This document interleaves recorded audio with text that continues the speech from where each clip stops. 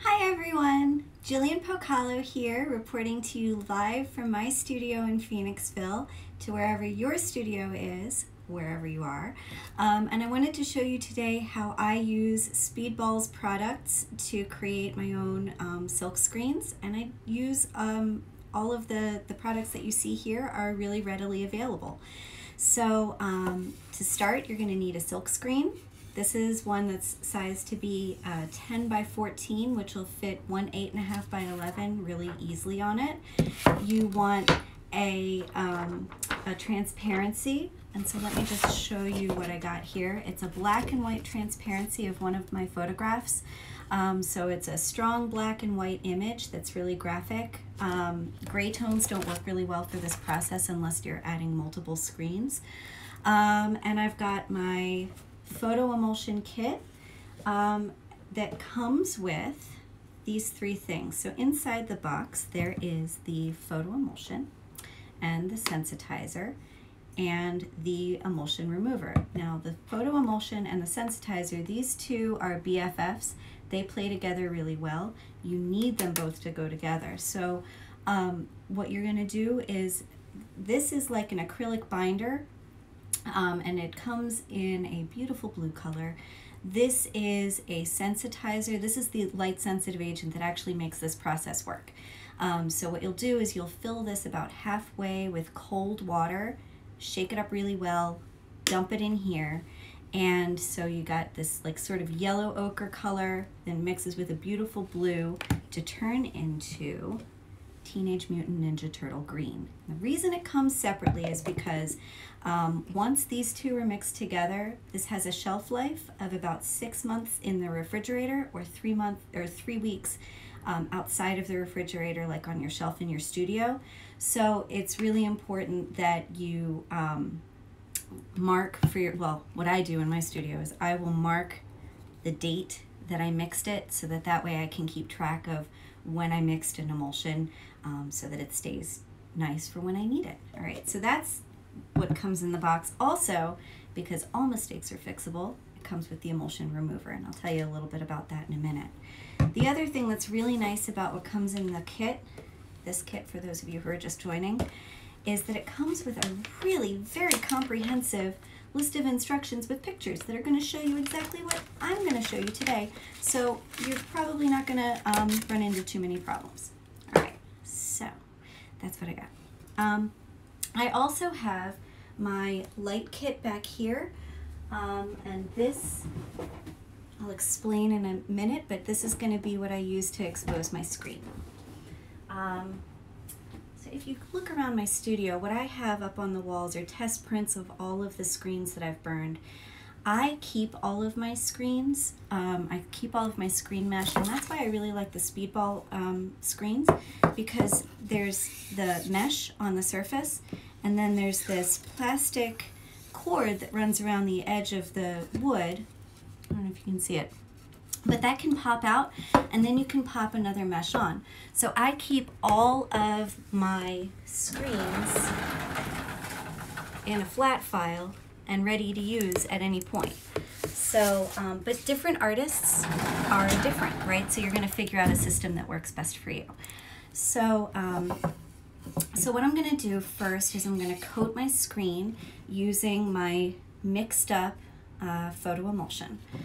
And so what I'm gonna do is I am gonna dump some of this into an emulsion coater, right? So it's that beautiful Teenage Mutant Ninja Turtle green. I'm gonna pour out a little more than I'm gonna probably need, but it's better to have and not need than need not have, right? So what I'm gonna do is, let me just move this down a little bit more so you can see. I'm gonna tip the emulsion forward. Um, first of all, so with the coater, there's this hexagonal edge. That's actually gonna be touching the screen. So you're gonna tip this further than you think you're gonna need to, but let me show you. So you're gonna tip this all the way forward and let the emulsion go across this, the bottom of the screen. And then you're gonna pull up. And when I get to the top, I'm gonna rock this back so that the emulsion goes back into the screen or back into the trough a little bit. and I'm gonna kind of shimmy shimmy. Your natural instinct, by the way, is gonna be to pull this away right away. And then you're gonna wind up with all these drips that you have to clean up. So this is why I say like shimmy shimmy, it makes a difference. All right, so I'm gonna do the same thing on the back. I'm gonna tip that all the way forward until the emulsion goes across the bottom of the screen. And then I'm gonna pull it up, rock it back, let the emulsion go back into that trough, shimmy shimmy, and then I'm gonna pull away. The goal here is to have a nice, even, lightweight coat on both sides of the screen. If you got a little bit messy or if it got a little bit too much, too thick, you can always do a cleanup pass where you're not coating the screen, you're just kind of pulling some of that extra emulsion off of the screen.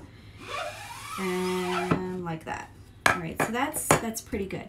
Now the beauty of the Diazo photo emulsion um, that Speedball has is that it's kind of got a slow exposure time, which is working to my advantage right now, right? Like I'm able to talk to you, and technically it's exposing in the ambient light that's coming through my window, that's coming down from the lamp, but it's not so fast that I need to run and throw this into a dark closet, although that's what I'm going to do now.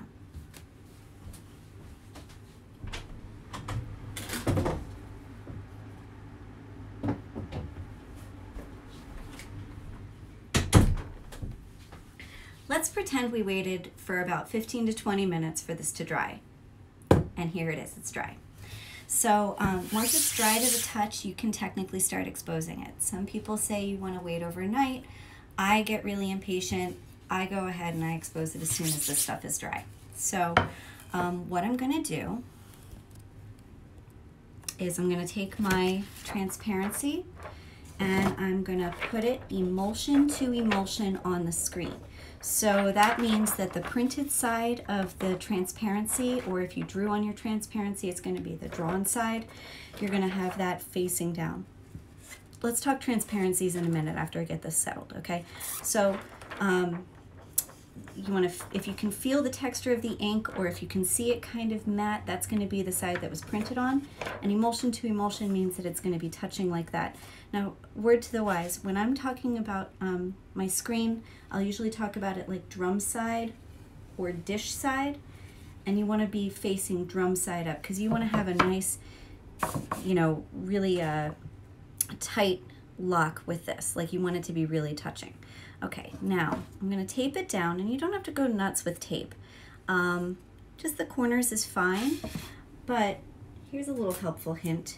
When you put the tape on, your natural instinct is going to be to kind of jam it down there and press the screen. And I don't know if you could see, but like when I did that, the screen kind of bounced a little bit.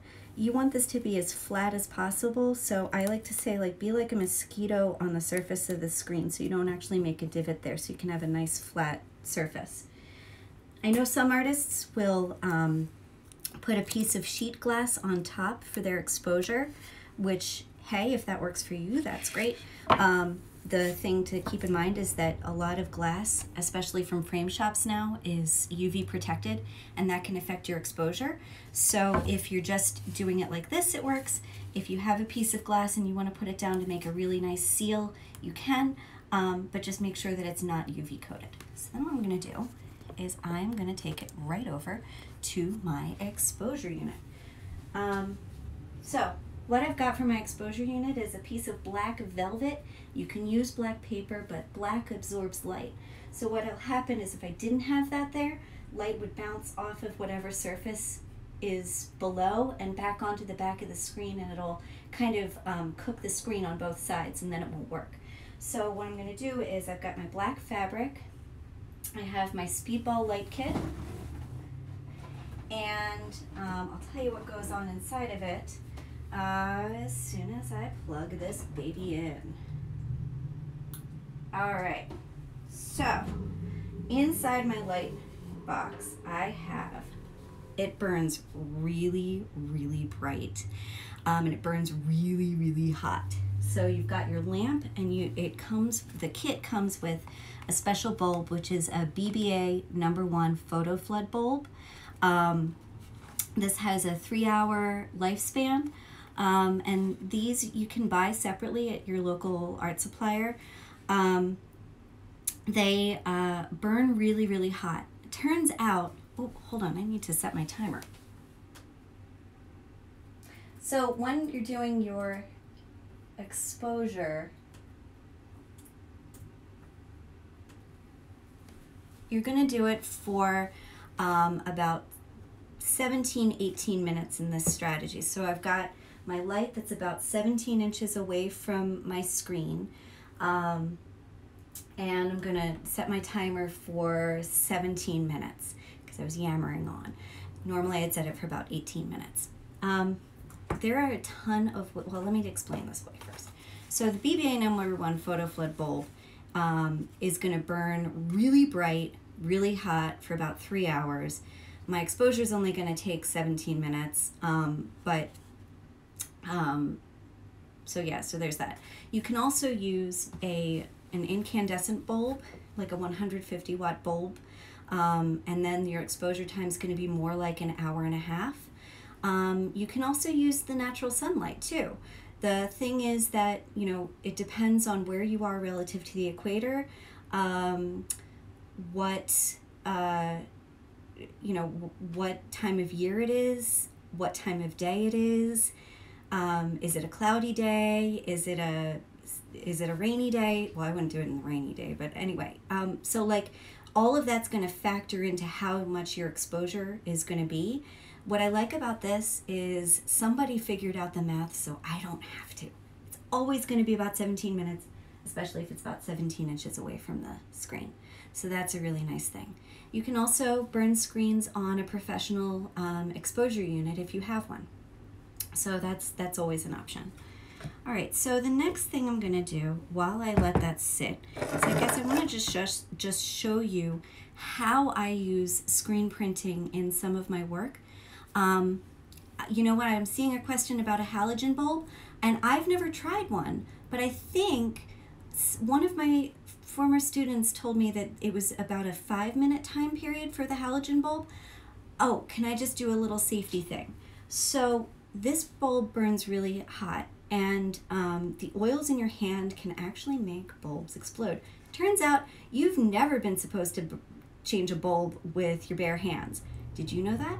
I learned that. So um, when you change a bulb, you always want to make sure that you are covering your hand or putting a glove on so that the oils of your hand are not directly touching the glass.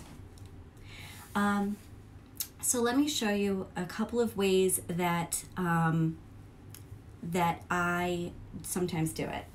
Um, so what I'll do is, this is one of my pieces. Um, I start with a background painting and then I layer my photo silk screen on top of that and I'll usually paint back in. So I'm almost thinking of silk screen for myself as um, like you know how you use different paint brushes for different kinds of marks that's sort of how I see screen printing for my own work. Um, I this is three different screens that I put side by side to create this narrative of this piece. Um, but what's great about screen printing is it is so versatile. It's not just one single color on a t-shirt, you can kind of go crazy with it. So, and it, it plays very well with others. So of course you can print on paper. Um, in the case of this one, I, um, I did a painting um, of plants from my backyard and then layered the photo silk screen on top and then I painted back into it using um, some watercolors. I did a similar process here where I'm doing a, an acrylic pour and then using acrylic glazes to build up layers. Um, you can use it with encaustics. If anybody is an encaustic person, um, you can use the fabric inks because they are heat resistant. Uh, or you know like they, they work well with heat you can use the um, fabric inks and do like the black line work in this was was a silk screen and then I layered the um, encaustic paints on top of that um, of course you can print on fabric and um, if you print on fabric, you're going to want to heat set it using a hot iron for about a minute, um, just so that it stays permanently. And you're going to need to, oh, I'll talk about inks in a minute. Um, and then this is uh, print on uh, ceramic. So, you know, you can print on greenware and then um, do glazes and all of that stuff on top of it. So what I love about screen printing it is, is it is so versatile and I can use the exact same stencil for all of those different materials. If it can be flat at any point in its life, you can do it. Um, and you can do all kinds of different transfer techniques with screen printing uh, on like you can print on newsprint and transfer it onto the clay you can also print directly onto the clay like all of that is a possibility um, and that's a that's another demo for another day um, so while we're waiting for my screen to burn let's see I have how much time do I have I have 11 minutes and 29 seconds until that sucker is ready to come out of the light. So I might as well show you how I screen print. Okay. So let's talk inks. Um, there are two kinds of inks. There is fabric ink and there is the new professional inks. These are really, really lovely. That's what I'm going to use to print on my panel. And there is acrylic ink. So the difference between these is like you won't feel the difference when you're printing with them. Um, I love the way that the viscosity of the speedball inks. Um, but the acrylic inks can be on paper or um, wood, but if you print on fabric with these, um, eventually it's going to wash out. Whereas with the acrylic, with the fabric inks, you can print on paper, fabric, wood, whatever, but if you print on fabric, then it's going to stay in the fabric um, with some heat setting. All right, so I'm gonna set my screen up. Um, this is a screen that I burned just a couple of days ago. Um, and so what I'll do is if I want to make a really nice clean print, I will tape all around this.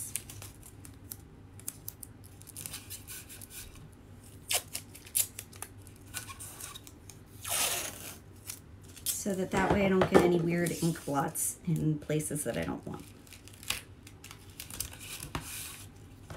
And you'll be able to see in a moment when I print this just how much detail you can get with this.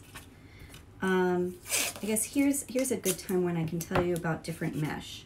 So the kind that the mesh that comes in the speedball screens is about 110 um, threads, 110 threads per inch, which means that it's good for printing on pretty much anything you could possibly need.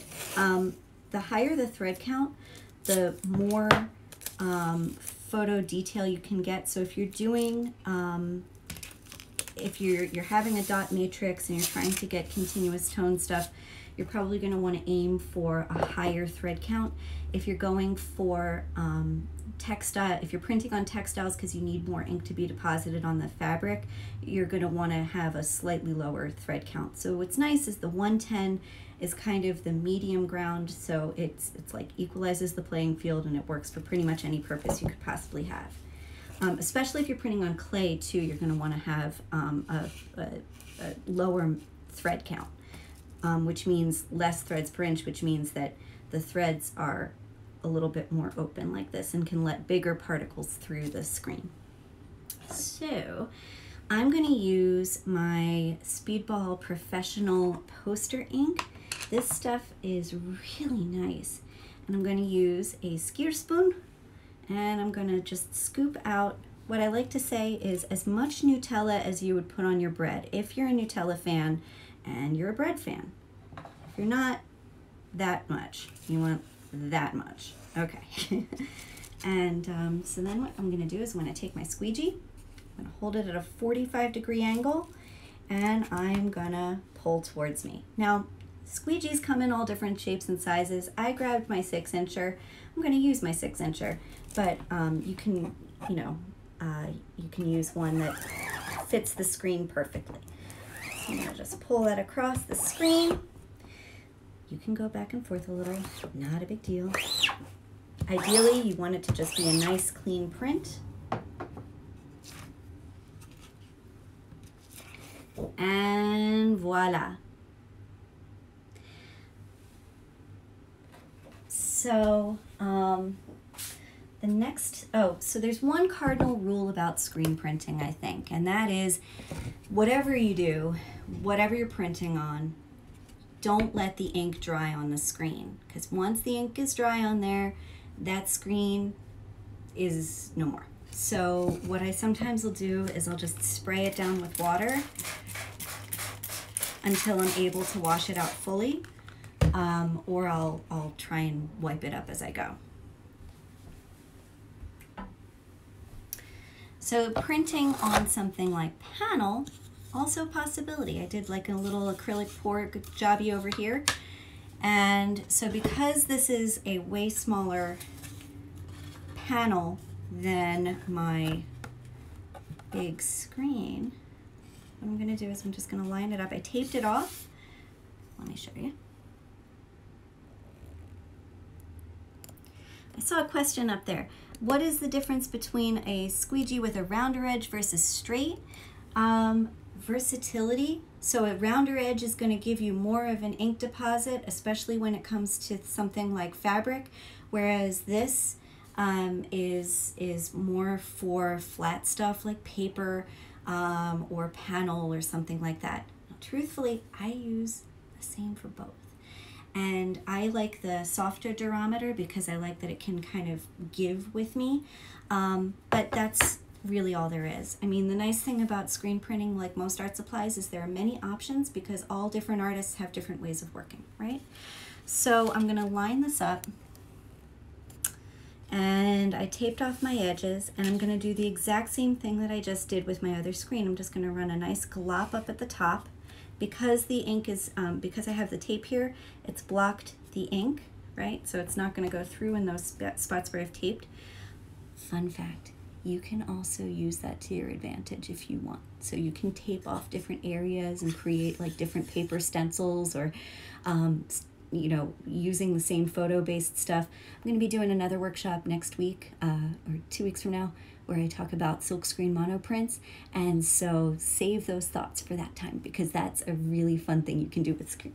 Okay, so I'm going to pull my squeegee across the screen And of course it's stuck to the back. So there we go. Now the nice thing about the poster inks is they have a, a sheen that's gonna kind of settle into the paper, the panel a little bit. Um, but what's really nice is that the, the poster inks are non-scuffable. So what that means in terms of me in my studio that is super clean and very well organized, as you can see, is that when I have a piece like this on the bottom of a pile, that ink's not gonna just come right off.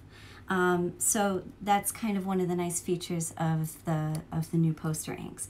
Again, they're only used for, um, used for paper or panel or something that's not gonna get washed. So I would not use those.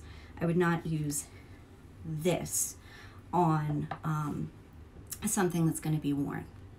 But that's that. Um, so let's see, how much time do we have until my screen is done?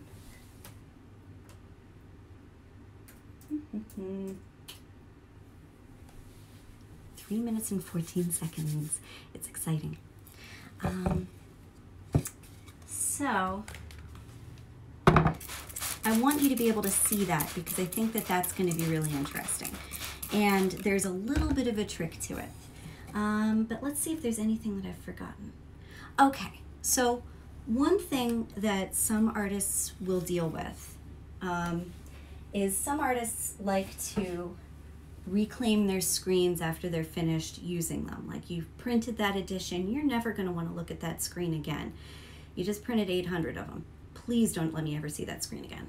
So then what you're gonna do is if you want, you can either do the my method, which is pop the mesh off and store it for the next time you ever decide that you want to see it for another 800 piece edition, or you can reclaim your screen.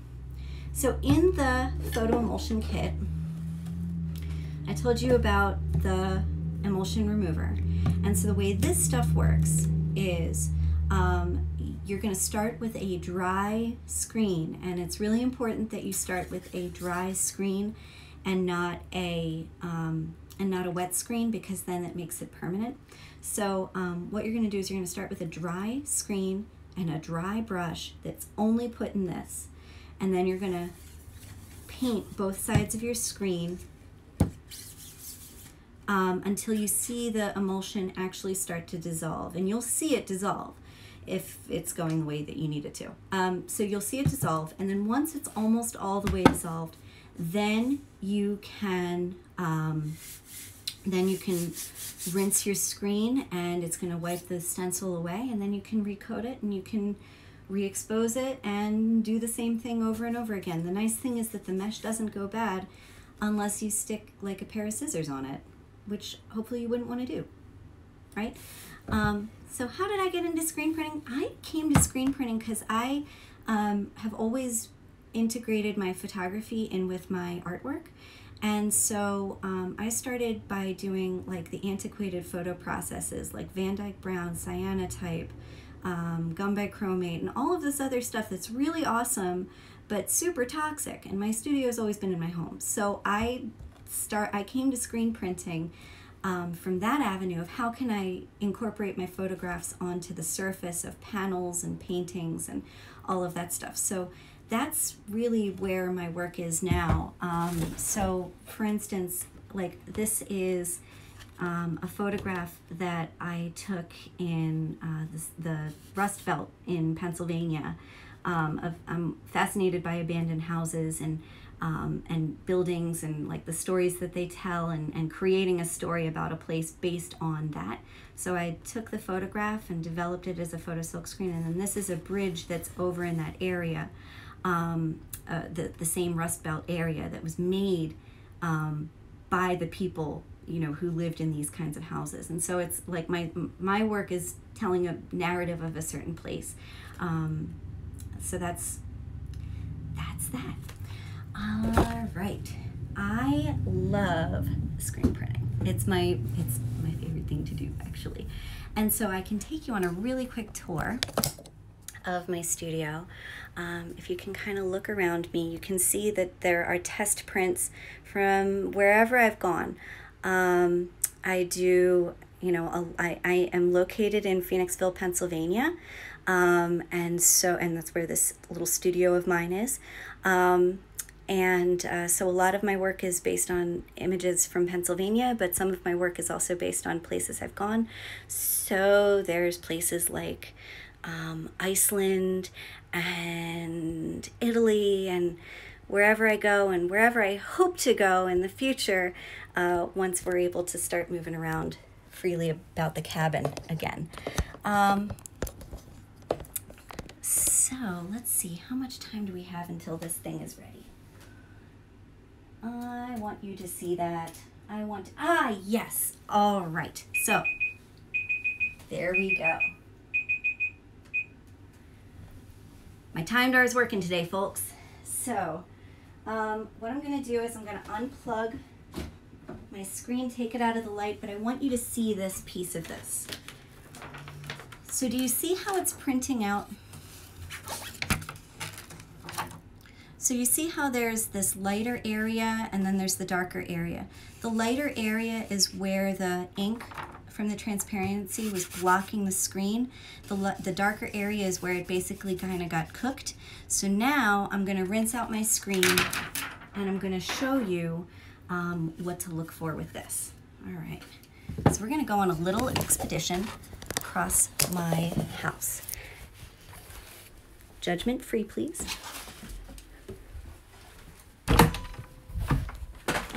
So I'm gonna just show you my way to my kitchen where I'm going to rinse out all of my screens. Okay, so here we go.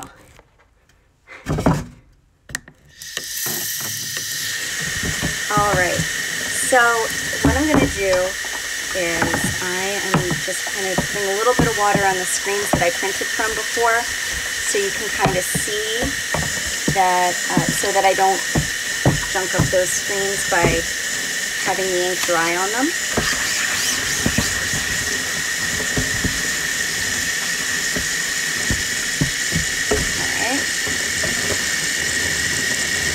And once the ink is uh, once the ink is out of the screen, some inks may sort of stain the screen a little bit, so don't let that freak you out. So long as you can see light passing through, you're in good shape. So like for instance, I'll show you with this one in just a second. I was letting, while I was kibitzing with you, I was letting this ink kind of hang out on the screen so you can see how there's some ink marks up here. That's not affecting my image at all. I can still see my stencil right through the screen. Let's see up here how you can still see through the screen. Okay. So now with this, you're going to want to start rinsing out your screen. Start with cold water first, and you're going to go on both sides of the screen. Um, I just use the water in my sink. Some people um, you know, I wouldn't honestly use a power washer for this, especially not these screens, because like the cord is going to go blowing right out, and then where's your screen go? So with this, you just like it's you're developing it under cold temperature water, and you don't have to do freezing cold either. Um, like don't make your hands hurt, right? You just want to kind of rinse it out until these lighter areas of the screen wind up turning the white of the fabric. And you're going to keep doing this, and you're going to be like, is this happening? Is this actually print? Is this going to work? And chances are, folks, yeah, it is. It's going to work. You can take a soft side of a sponge, not the scrubby side, a soft side, and kind of massage it lightly if you so choose what you're aiming for is for those darker areas, those lighter areas to start to develop as the, the, the white of the fabric.